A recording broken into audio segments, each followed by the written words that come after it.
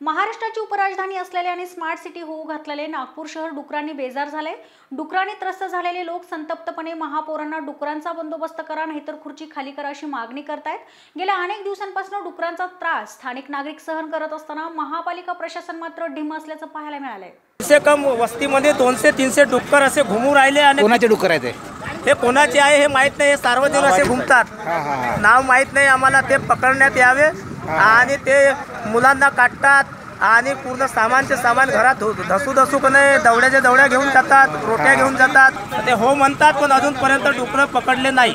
बिमारी असून जे आहे ना घरामध्ये ज्यांच्या दरवाजापासून काहीतरी जे काही आहे ते घेऊन पळायची कोशिश करतात. मुलं- काढतात. हा मुलं असतील त्यांना हा- हाव हाव करून धावतात त्यांच्यामध्ये.